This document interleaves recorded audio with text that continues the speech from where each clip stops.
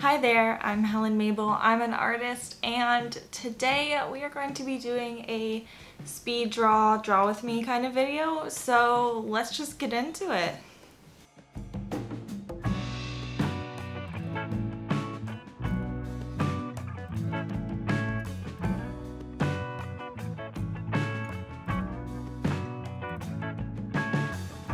Alright, so I'm just going to talk about my general idea for this piece since I find the whole sketching process a little boring to watch. So for this piece, I really was going for a kind of fall, just a cozy, vibey piece, and that was my original idea, but I actually ended up going down a little bit of a spooky route. Not like spooky spooky, but like cozy spooky, you know?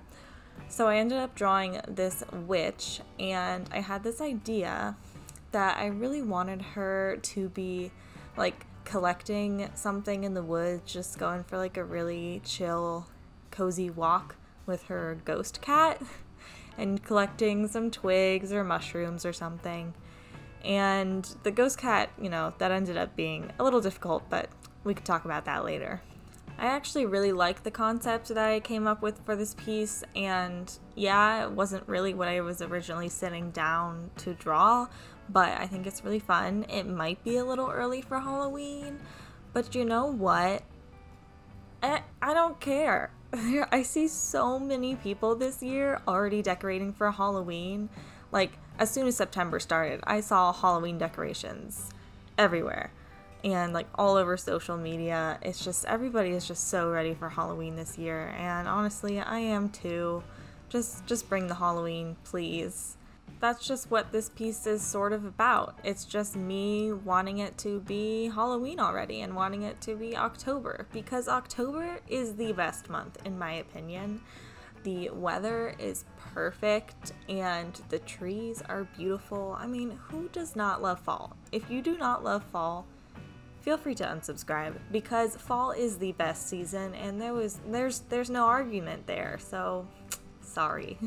I actually specifically found a kind of fall themed color scheme for this piece because I just wanted something that would be really cohesive rather than trying to come up with my own. If you are ever struggling with colors, I just highly suggest you look on Pinterest for color schemes there are so many. And Procreate actually has a pretty cool feature where you can just insert a photo and it will automatically use the colors in that photo and turn it into a color palette for you.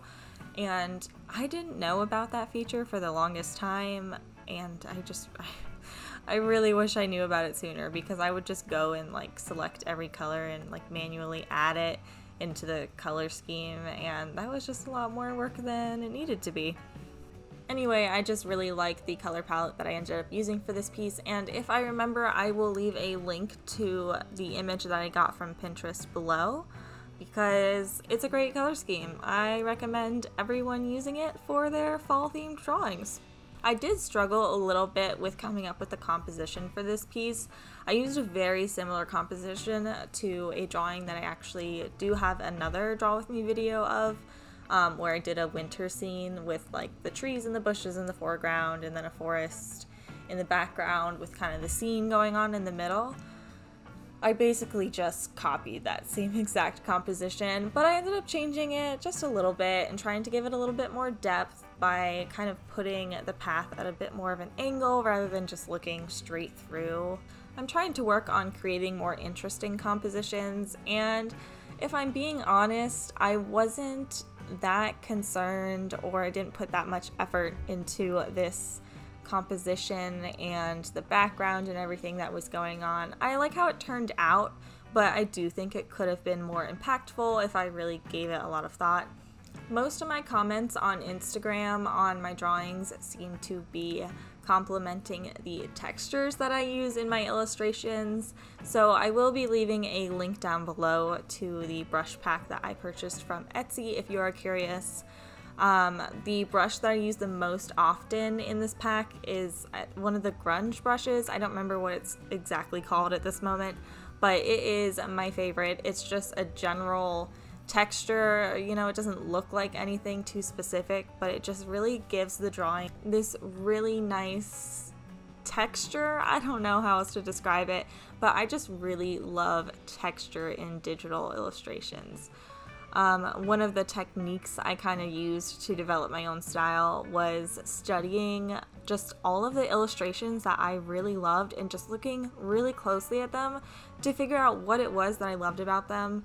And the thing that they all had in common was a lot of texture. So that's just kind of how I have picked that up in my style. And I've honestly looked at so many different brush packs and all kinds of texture packs and, you know, they're not that different from each other. Just find one that you really like. And one that I would recommend is more simple. The brush pack that I got does have a lot of textures that resemble lots of real life things, like some fabric, like linen or denim and gravel and things like that.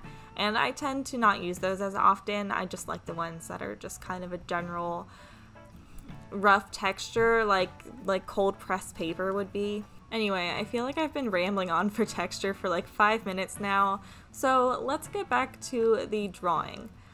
So for this piece, I did use a uh, drawing, one of the drawing pencils that comes with Procreate, and I like to use this over my drawings to uh, give it more texture. Sorry, we're still talking about texture. Um, but I do this and I use it kind of like how I would use a colored pencil um, with traditional medium. And I just go over very lightly, just add some shading or some texture and give the just the whole illustration a little more interest. And what I like to do is then take this layer, I usually do it all on one layer just to kind of minimize my amount of layers because I can definitely go up to a very high number of layers if I let myself and that's just hard to keep track of. Anyway, what I tend to do with this layer is lower the opacity and it depends on the drawing, it depends how dark I've used uh, the colors on this layer, but I will lower it um, probably around 50% or 75% to give it a little more, just like a see-through effect and make it a little softer and make it look a little more realistic, as, like if it were done traditionally. And that's just something that I prefer to do, but I don't know that anybody else does that. I don't know why I do that rather than just drawing it the way I would like it to look. I don't know, for some reason I think it makes a difference. Okay, so at this point in the drawing, I was actually really struggling with my ghost cat, and I almost gave up and just drew a plain black cat. But as you can see, I went back to the ghost cat idea because I just thought it was so cute and I really, really wanted to do it.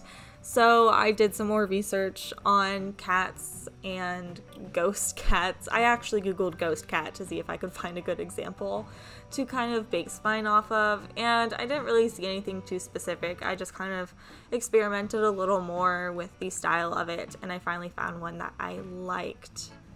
It can really take a long time for me to actually like what I'm drawing sometimes.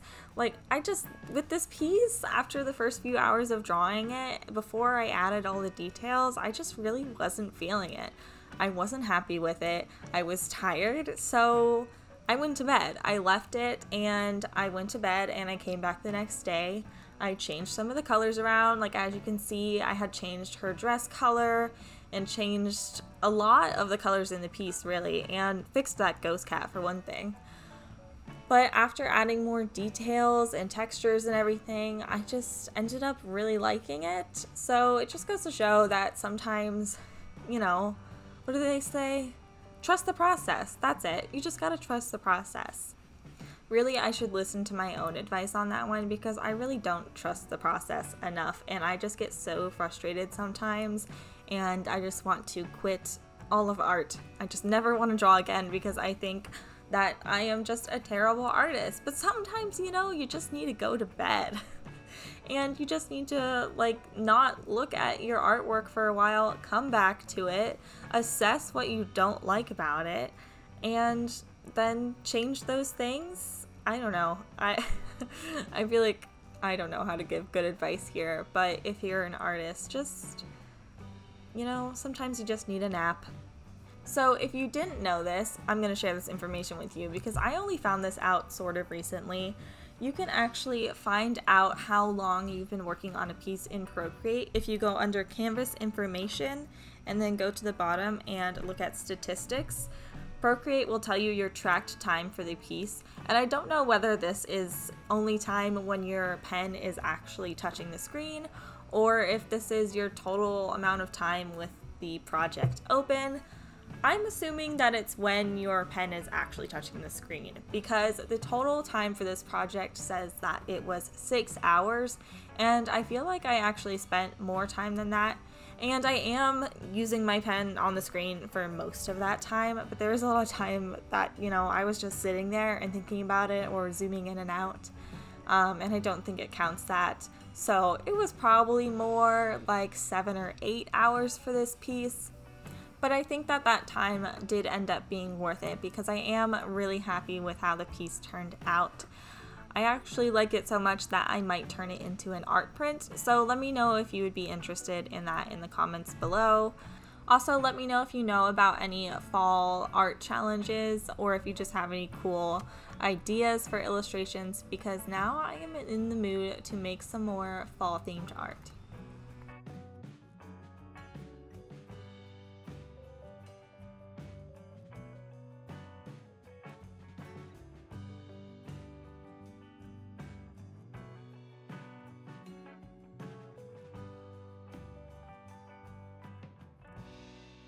Well, that about wraps up this video. Please let me know down below if you really like this style video, this kind of draw with me type of video. I want to give you the types of videos that you want to see from me.